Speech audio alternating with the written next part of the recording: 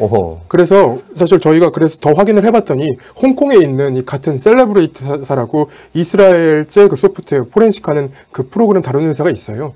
홍콩에 있는 그 관련자한테 물어봤더니 어 도와줄 수 있다라는 정도의 답이 온 겁니다. 예. 그러면 사실 그 검찰이 풀 수 있음에도 풀지 않고 있다라는 의혹이 나온 거고요.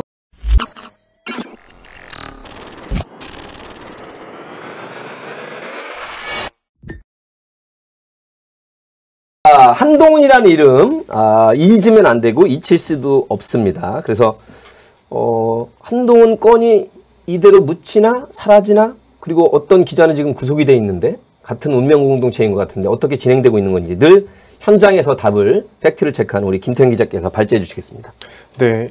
지금 며칠째 이제 한동훈 검사에 대한 무혐의 결론을 내야 된다는 서울중앙지검 수사팀의 어떤 보도가 잇따르고 있습니다. 예. 근데 지금 그 보도의 내용을 보면 어, 한동훈 검사장이 아무런 그 혐의점이 없으니 이제 무혐의로 결론을 내야 된다라고 하지만 이성윤 서울중앙지검장이 그 결론을 내리지 않고 결재를 하지 않아서 사건을 뭉개고 있다 이런 취지의 이제 기사들이 나오고 있어요. 예. 근데 저희가 왜 사건이 이렇게까지 결론이 안 나고 있나라고 확인을 좀 해봤더니 한동훈 검사장에 대한 휴대전화가 포렌식이 되지 않고 있습니다. 그러니까 사실 이 사건의 그 검언 유착이라고 그 불러지게 된 이유는 이동재 전 채널A 기자랑 그리고 한동훈 검사가 그 검언 유착이라는 이제 그 범죄가 이루어진 시, 그 시기에 300여 번 전화 통화를 해요. 연락을 네. 해요.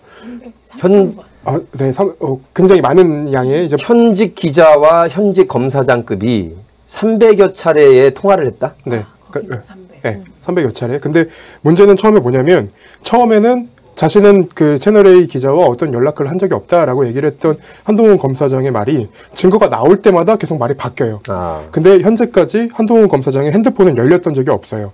그 압수한 지 벌써 7개월이 지났습니다. 자, 아시겠지만 자기가 독직 폭행을 당했다고 정진웅 검사를 역시 어, 고소했죠. 그렇습니다. 그 와중에 정진웅 검사는 그게 아니라 자기가 현장에서 그 증거가 될 만한 것을 입수를 해서 풀려고 그랬더니 비밀번호를 안 풀어주면 지금 대한민국 기술상으로는 그러면 열 수가 없는 건가요? 일단은 저희가 확인한 것까지 좀 말씀을 드리면 예. 국내에 있는 대검찰청이 계약한 그 포렌식 소프트웨어는 아이폰 10까지만 돼요. 10. 근데 그 한동훈 검사장의 핸드폰은 아이 폰 11입니다. 아, 버전이 하나 올라간 거라서 지금 기술로는 열 수가 없다. 네. 오호. 그래서 사실 저희가 그래서 더 확인을 해봤더니 홍콩에 있는 이 같은 Cellebrite사라고 이스라엘제 그 소프트웨어 포렌식하는 그 프로그램 다루는 회사가 있어요. 근데 홍콩에 있는 그 관련자한테 물어봤더니 어 도와줄 수 있다라는 정도의 답이 온 겁니다. 예. 그러면 사실 그 검찰이 풀 수 있음에도 풀지 않고 있다라는 의혹이 나온 거고요. 그리고 어제 박범계 그 법무장관 인, 인사청문회에서 어떤 얘기가 나왔냐면 예. 박범계 후보자가 확인한 결과 어 업데이트가 된 걸로 알고 있다라고 얘기를 해버렸어요. 박범계. 포렌식 방식이 예. 어. 그렇기 때문에 예. 그렇기 때문에 검찰이 안 하고 있다라고 의심하는 하는 그런 목소리가 이제 나오게 된 겁니다. 못하는 게 아니라 안 하고 있고 그 상태를 마치 이성윤 지검장에게 네. 어, 한동훈 무혐의로 처리하는 것이 옳겠다고 자꾸 일종의 밑으로부터 압박을 가하고 있는데 이성윤 지검장은 지금 저간의 사정을 알고 있으니 그것을 사인할 수가 없는 것이군요. 그렇습니다. 예. 그 지금 결론적으로는 사실 그 의혹의 핵심에 있는 한동훈 검사장에 대한 수사는 전혀 진행되냐 진행이 안 된 상태고요. 예. 그 핵심 증거인 핸드폰도 열리지 않은 상태인데 수사팀은 무엇을 보고 무혐의라고 결정을 하고 있는 건가라는 게 이제 저희 오늘 발제 내용입니다. 요즘에 그 황운하 경찰청장이 이제 국회의원 됐기 때문에 대전청장이 울산 고래고기 사건이 다시 또 공수처로 가야 된다라고 그 피해를 당했던 업체가 너무 억울하니 27톤을 경찰에서 입수를 해서 검찰로 넘겼더니 검찰이 6톤만 불법이고 나머지 21톤은 불법이 아니라고 업자한테 돌려줘 버렸어요. 그래서 이것도 고위공직자가 연결됐기 때문에 공수처에 넘어갈 가능성이 있는데 어떻게 근데 밑에 있는 검사들이 이렇게 이상현 하나를 일종의 치려고 잡아내려고 여기까지 왔을까요, 의원님? 그러니까 지금 두 가지죠. 네. 하나는 이성윤 지검장을 어떻게든 상처내겠다 이거 음. 하나가 있고 다른 하나는 한동훈 검사를 어떻게든 중앙으로 불러 드리려고 네. 하는 이두 가지 의도로 보이잖아요. 네. 왜 그럴까? 이게 제일 중요한 것 같아요. 왜, 왜 그들은 이 시점에 그럴까? 음. 이 시점이 어떤 시점입니까? 법무부의 수장이 교체되는 시점이잖아요. 그리고 일단 여론과 그 야당과 검찰은 어, 어쨌든 추미애 장관을 몰아내는데 성공한 거예요. 예, 그 성공이 음. 어, 저는 뭐 곧 뒤집힐 의미 없는 성공이라고 봅니다만 어쨌든 그들이 보기엔 성공한 거예요. 그리고 박범계 장관으로 교체되는 이 과정이 일시적 공백기로 보는 거예요. 예.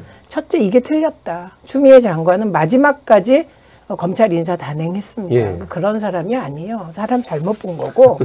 그다음에 두 번째는 요 권력 교체기에 그러면 이성윤 지검장 흔들긴 뻔하잖아요. 다음 검찰총장 후보예요. 그래서 문재인 정부의 검찰총장 후보를 싹을 자르는 것이면 미리 물론 이성윤 지검장을 이렇게 싹을 잘라놓으면 어느 누구도 윤석열 사단에 거스르는 검찰총장은 만들, 만들어내지 못할 것이다. 이런 것이라고 봅니다. 근데 네. 한동훈 검사와 관련해서는 이 말씀하신 대로고 수사는 핸드폰 하나 못 풀어가지고 그 이러고 있다는 게 창피하기도 하고 홍콩에까지 와서 우리나라로 건너올 수도 있다. 이 얘기를 들은 게 벌써 제가 한 달 전인가 그렇거든요. 그러니까 그 사이에 대검은 뭐 하셨나 이런 생각도 들고 한동훈이 왜 그렇게 절실할까? 대한민국에 한동훈밖에 없어요? 윤석열 사단에? 그런 게 아니잖아요. 네. 그래도 지금 정황은 총선에 우리 진보지정의 흠집을 낸 number one two 그 통화 내용을 보면 가장 네. 핵심적인 공작과 이 음모의 중심에 있던 첫- 핵심 중의 핵심이기 때문에 그래서 그런 그런 과거에 대한 의미와 음. 현재적 의미로는 결국 지금 윤석열 사단이 자신들도 살고 검찰 개혁이 더 이상 진행되지 못하도록 막으려면 그 어떤 의도를 가지고 있을까? 자신들이 걸어놓은 원전 수사, 원전 관련 네. 수사, 울산 고래고기 그 환부 사건인데 그게 이상하게 뒤집힌 그 수사. 예. 어, 그래서 이게 뭐 울산 선거, 청와대 선거 개입. 그래서 이 청와대를 겨냥한 자신들이 걸어놓은 몇 개의 코드를 완성시킬 인물. 음. 그걸 참 찾고 있는 거죠. 그리고 이제 한동훈 검사는 언론 플레이를 아주 아주 아주 아주 잘하시는 것 같아요. 네. 맞습니다. 예, 그러니까 그 한동훈 검사가 특수부 검사의 대명사처럼 지금 되어 있기 때문에 이런 다목적 포석으로 특히 저는 한동훈 검사의 복귀는 윤석열 사단이나 특수부 검사단에게는 그 청와대와 대적할 수 있는 이게 그쪽에선 조자룡쯤 되는 모양이죠. 이것도 이해할 수가 없어요. 예. 음. 그렇게 좋은 조건에서 저는 뭐 김진미 변호사가 훨씬 더 잘할 것 같은데 수사도.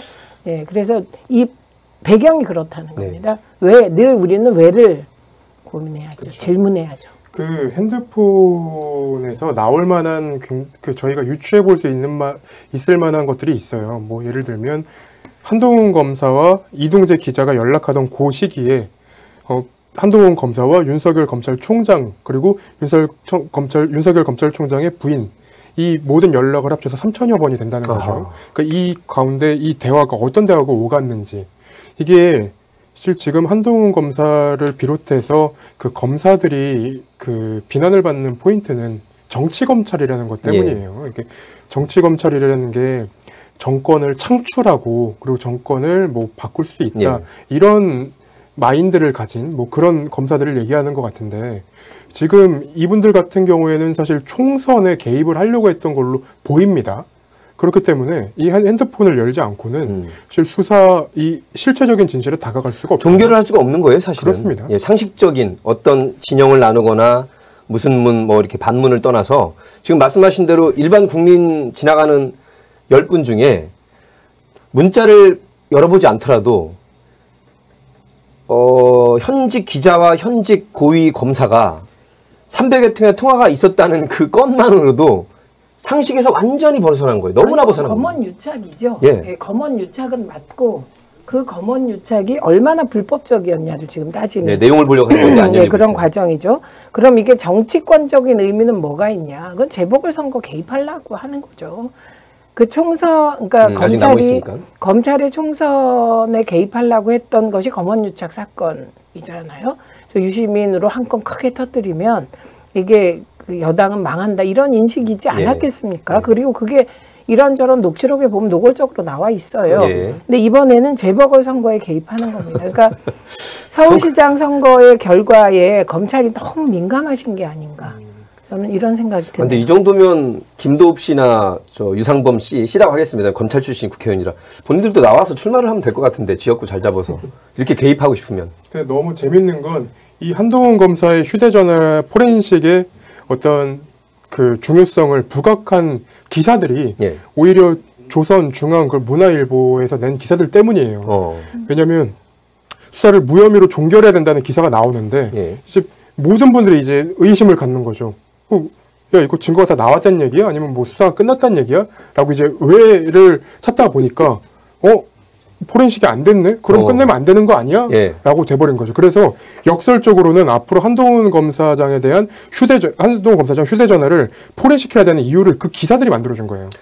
비근한 네. 예로 문성근 선배가 SNS에 뭐라고 됐냐면 문익한 목사님이나 7, 80년대 민주화 운동하던 사람을 국정 당시 안기부가 사찰을 했는데 이분들이 일기도 못 쓴 게 그걸 가지고 기소를 해버리기 때문에 마음도 못 적었대요. 근데 알고 봤더니 안기부에서 입수한 사찰에 반대 역설적으로 그분들이 어떤 민주화 운동을 했는지가 다 나와서 내 나라 내 파일 사찰 운동을 지금 아, 예, 그거 그래서 하는 그 파일 받으셨어요, 문성근 선배가. 네. 그래서 제가 그거 봤어요. 그랬더니 문재인 대통령을 만들게 된 음. 그이 개혁 쪽 민주당 쪽에 그 모든 힘 에너지를 모으는 시발이 문성근이었다. 그게 그냥 여실히 나타난. 드러나서 저쪽에서 그렇게 써놨던데요.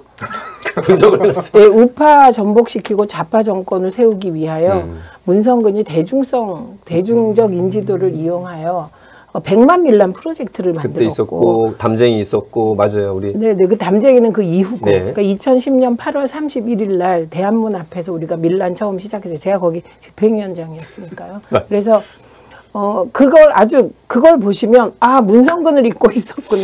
아, 국정원이 아무튼 박지원 원장님께서 아마 모종에 자기 모든 걸 걸고 개혁 지금까지 잘해오셨지만 아마 이거 국민에게 국정원 이렇게 개혁한 게 촛불과 대통령 아니었으면 어떻게 바뀝니까? 그죠? 지금 경찰과 검찰 남아 있으니까 국민께서 많이 지켜봐 주시고 이거는 계속 ING 형태고 제가 보기에는 이성윤 지검장이 여기에 밀려서는 본인도 안 되는 것이고 우리 검찰 개혁도 안 되는 것이고 촛불도 안 되는 것이기 때문에 끝까지 지켜내시겠죠? 어떻습니까? 어, 그 이 부분은 계속 수사가 진행될 걸로 보입니다. 이성윤 지검장이 이제 포렌식이 끝나지 않을 때까지는 수사를 종결할 수 없다는 입장을 밝힌 상태이고 예. 그리고 저는 무엇보다 한동훈 검사장이 자기의 무고를 계속 주장을 하고 있어요. 그럼 휴대전화를 오픈을 하고 이것 봐라 무고하지 않냐라고 그냥 끝내버리면 되는 건데 왜그 몇몇 기자가 김 기자님 말씀하신 정확한 거 말씀하던데요. 그냥 드러내놓고 나는 멀쩡하다, 네. 무죄다라는 걸 입증하지 왜 이렇게 뭉개느냐 이런 얘기를 오히려 했던 기억이 납니다. 네, 그래서 그게 검찰이 보통 그렇게 해요. 음. 그러니까 지금은 어, 좀 많이 달라져서 영장을 가지고 이제 휴대폰 압수를 정식으로 하지만 사람들이 잘 몰랐을 때는 그냥 경찰에 체포가 되거나 임의동행 형식으로 가면 경찰이 그냥 핸드폰 줘봐요 이제 이렇게 하는 거예요. 예, 그래서 이제 못 모르고 사람들이 이제 경찰에 달라 그러니까 오 이렇게 주고 아니면 어 못 주겠다 뭐 그러면 영장은 사실 이제 압수수색 영장은 그 비교적 잘 나오니까요. 영장을 받아서 가져가거나 아니면 방금처럼 이 수사기관의 수법이 당신이 결백하면 못 줄 거 뭐 있냐. 그게 이제 검찰에서 많이 쓰는 수법인데? 쓰던 수법이었단 말이죠. 사실은. 있군요. 네. 근데 이번에는 어쨌든 압수가 돼 있는 상황이고 그 비밀번호를 이제 그 풀면 어쨌든 이제 결백은 밝힐 수 있, 있는데 그러니까 결백을 밝힐 수 있는 방법을 놔두고 그걸 하지 않으면서 나는 결백하다라고 이제 말하는 그 상황 자체가 좀 모순되기도 하고. 예. 제가 여기서 한 가지 어, 말씀드리고 싶은 건 어, 언론 기사들이 우리 어, 그 법조 기자들께서 포렌식이 되지 않고 있다라는 거에 대해서 그 누구도 의문을 표시하지 않고 아주 형제 빼고 네, 계속 이성윤이 잘못했다라는 식으로의 기사만 계속 또 나오고 정말 앞뒤가 안 맞는 말이 안 되는 얘기죠. 그 검찰청 내부에서도 포렌식이 진행이 안 된 걸 모르고 있었던 검사들이 꽤 있었나 봐요. 아, 그렇겠군요. 예, 그래서 이 보도를 보고 좀 놀란 검사들이 검사님들 좀 있는 것 같더라고요. 자, 이렇게 되면 농담이 아니라 범죄 영화가 오히려 현실을 까고 봤더니 아수라장 무슨 내부 거래보다 더한 지금 현장이 나타났고 네. 모든 범법자들이 한동훈한테 배워가지고 목숨을 걸고 비번을 안 까면 지금 현재 기술로서는 못 가는 거예요. 그죠? 그렇습니다. 그래서 어제 인사청문회는 이제 저희가 다음에 다룰 거긴 하지만 인사청문회에서 나왔던 질문들이 그거였어요. 음. 그러면 어, 아이폰 11을 갖고 있는 범죄자가 범죄를 저질렀을 때 지금 그거 못 푼다는 얘기 아니냐. 그 얘기죠. 그, 그 얘기죠. 네. 그러면 검찰로서는 사실 이게 굉장히 부끄러운 상황이 돼야 돼요. 우리가 기술이 없어서 수사, 기술은 있는데 못 갖고 와 수사를 못 하고 있다? 그럴 때 수많은 검찰 출신 법조인들이 그러죠. 한동훈이니까 지금 버티고 있지 일반 사람들은 가족 털잖아요. 그렇습니다. 약점 털죠. 안 열 수가 없는 것이죠. 아니 그래서 검찰이 어떻게 보면 이제 크게 보면 우리나라 그 형사사법 절차에 좀 일조를 하고 있다. 역사적으로 그런 얘기를 어. 어, 그렇죠. 지금 그 검사 술접대 사건 에 관련된 검사들이 휴대폰 다 없앴다는 거잖아요. 아니 없앤 겁니까 잃어버린 겁니까? 부부싸움하다 잃어버렸다. 부부싸움하다 하나는 잃어버렸다 뭐 이런 얘기를 박람회 가서도 제가. 보기에는 그 하죠. 네. 전화가 너무 많이 와서 이런. 아니요. 제가 입장을 바꿔서 부인이라면 핸드폰도 던지고 남편도 던지고 싶을 것 같아요. 네가 뭔데 그런 따위를 저지르고 네가 법조이냐? 창피해 내 남편으로. 나 같으면 던져버립니다.